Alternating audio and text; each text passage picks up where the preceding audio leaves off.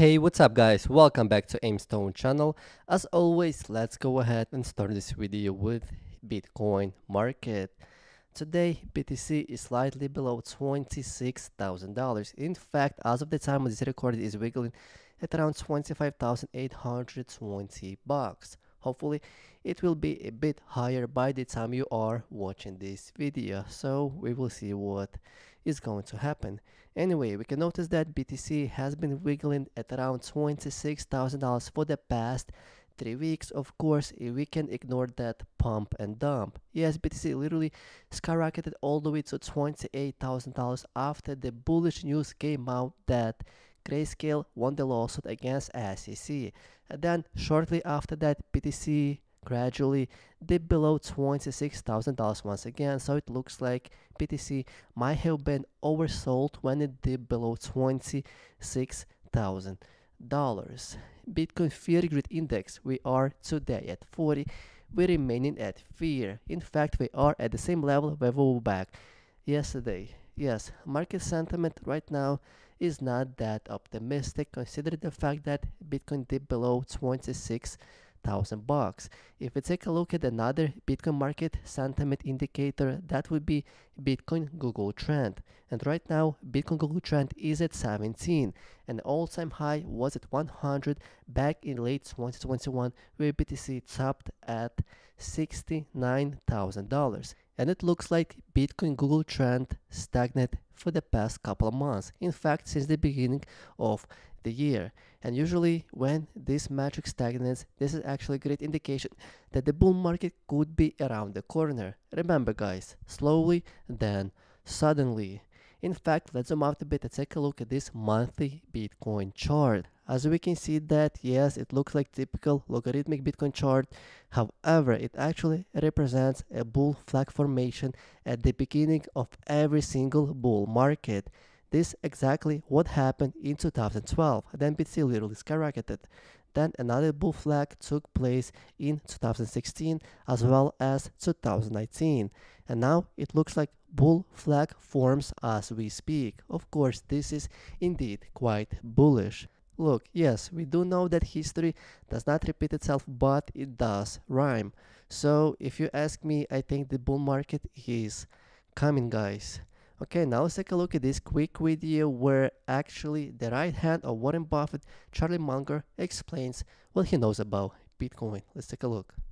That leads me to this question about crypto that uh, Benjamin writes in. He says in 2007 at the USC Law School, Charlie said, I'm not entitled to have an opinion on this subject unless I can state the arguments against my position better than the people who are supporting it. The question is Does this also apply to your Wall Street Journal article on banning cryptocurrencies? And if yes, would you care to share the arguments against your position? Well, I. I uh, I don't think there are good arguments against my position. I think the people that oppose my position are idiots. and, and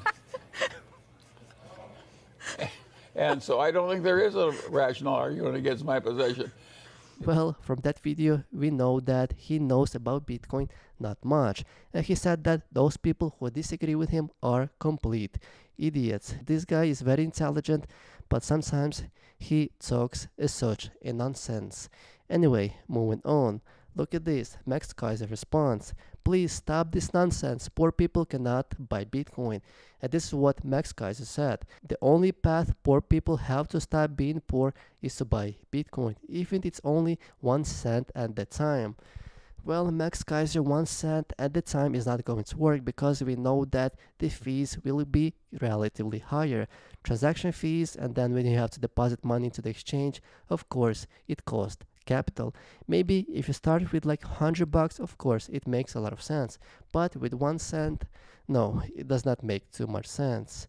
Moving on, the first international resident of El Salvador's future Bitcoin city has officially moved in. This is going to be the best city on the planet Earth.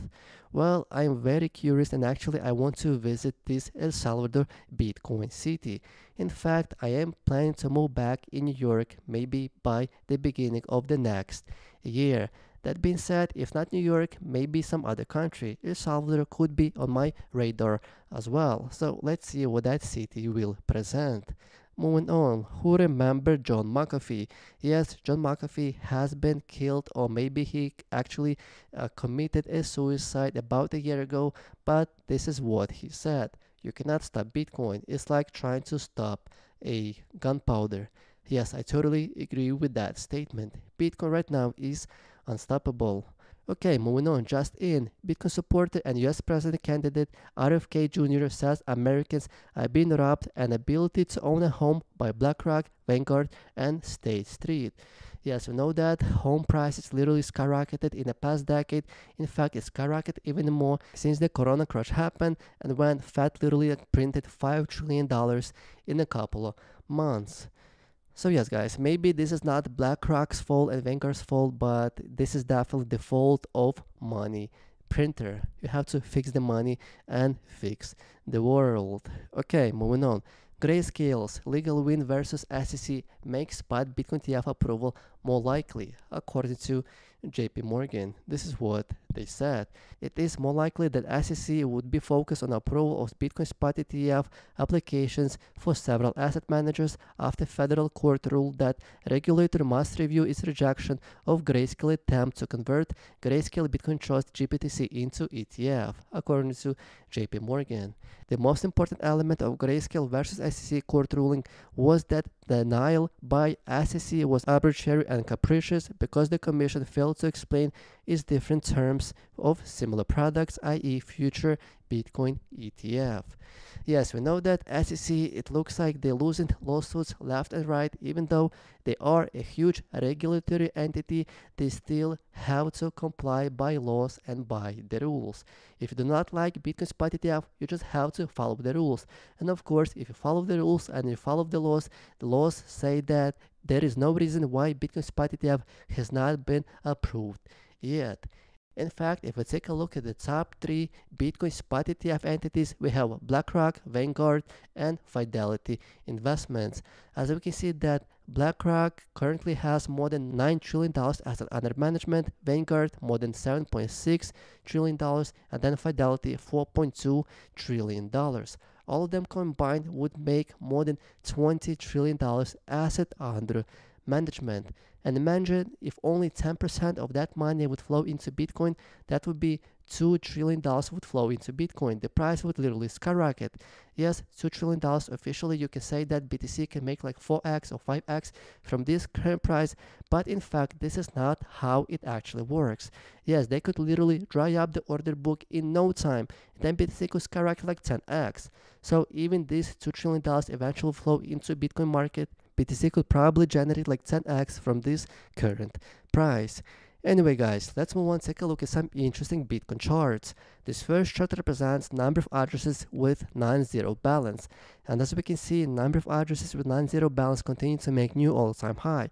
In fact, it's not so far away from 50 million addresses that hold at least some amount of BTC in their wallets. Yes, guys, Bitcoin is indeed unstoppable and Bitcoin adoption continues to grow higher and higher. Another quite interesting chart. This chart represents Bitcoin realized price. Right now, realized price is slightly over at $20,000 and the market price is slightly under $26,000. So what is the realized price in the first place? Realized price is basically the realized market cap divided by the number of coins in circulation. Well, in a simple language, the realized price is basically an average price that all investors pay for BTC throughout the history. So right now, an average price would be at around $20,000. So yes, majority of investors still are currently in profit unless if you bought BTC at all-time high. Even if you did that, this is still not the end of the world because I am pretty sure by the end of the next bull market you will be highly profitable. Another cool on-chain analytic chart. This chart represents Bitcoin 4 years compound annual growth rate. And as we can see, for the past 4 years, an average compound rate was at around 40% per annum, which is still fantastic deal. However, the previous cycle, it was way better. It was at around 100%.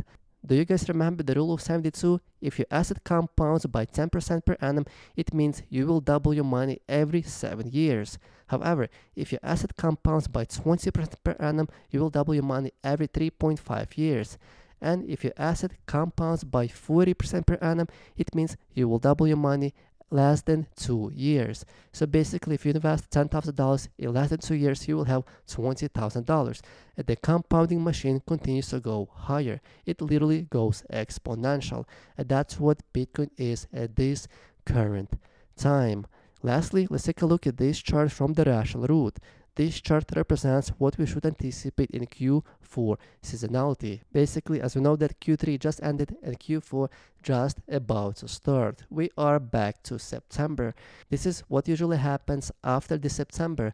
As we can see that in back in 2015, 2016, BTC literally went up from September all the way until the second Bitcoin halving. It doubled in price. But what about the next cycle? Well, the next cycle BTC was more or less flat from September until Bitcoin halving. And right now we are in September yet again. Yes, I do think BTC probably will end up somewhere between thirty to sixty thousand dollars by the date of the next Bitcoin halving that will take place in April 2024.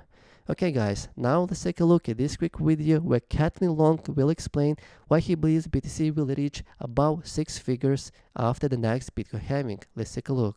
Here we are. I, I just, it's going to be crazy because remember also, I, I, thought about this last night reading Pantera's um, um, monthly newsletter, which I always look forward to reading. And they, of course, they're starting to talk about the halving. And if you look at their model, it shows Bitcoin crossing 100,000 around about the time of the US presidential election in, 19, in, in 2024. Okay. And I made the joke, I guess my laser eyes will have to come off right about the same time as the presidential election. Satoshi did this on purpose, folks.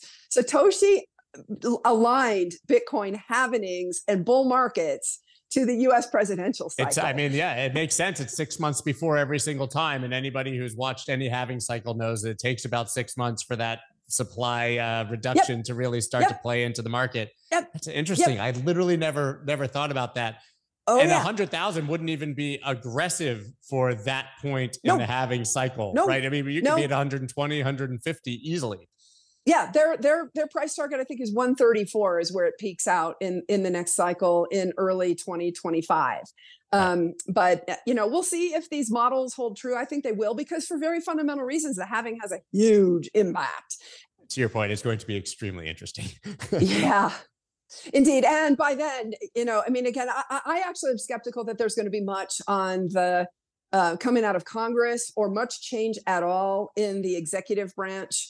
Uh, I don't think the SEC is going to approve the Bitcoin ETFs um, the spot ETFs, I think they're they're fine with with the cash settled futures. So now all eyes are on the ETH cash settled futures um, ETFs. That's coming, I think, th- because you know they they they're they don't have the grounds to reject it. It's the same exactly. The there's not a market yeah. ma- manipulation issue um, as there is in in the spot ETFs. And let's face it, they're not wrong. I've been very balanced in what I've said about the SEC. Sometimes I've been very critical, and sometimes in the face of you know a lot of crypto twitter being critical of the sec i'm the one saying hey they called this one right there is this isn't black and white there is a lot of crap in this industry i, was debating with with one of the uh, early early bitcoiners is it 90% of the industry or 99% of the industry that is assessment. crap right and, and you know a lot of it has been flushed out but not all of it yet and i don't know how how much more we have to go but there are still some highly leveraged business models. I mean, we just saw Prime Trust fail, you know, six weeks ago, right? Well, according to Caitlin Long, she believes BTC will reach like 100, 135,000 dollars after the next Bitcoin halving. Probably it's going to happen by the end of 2024. And the main reason why she believes that because she relies on Pantera Capital investment analysis. However, it looks like she's not so optimistic regarding Bitcoin spot ETF approval. She thinks it's not going to happen anytime soon. Well, personally, I disagree with her on that statement. Anyway, guys, let me know what you guys think. Will BTC reach six figures by the end of the next year? Comment below, subscribe, and like this video.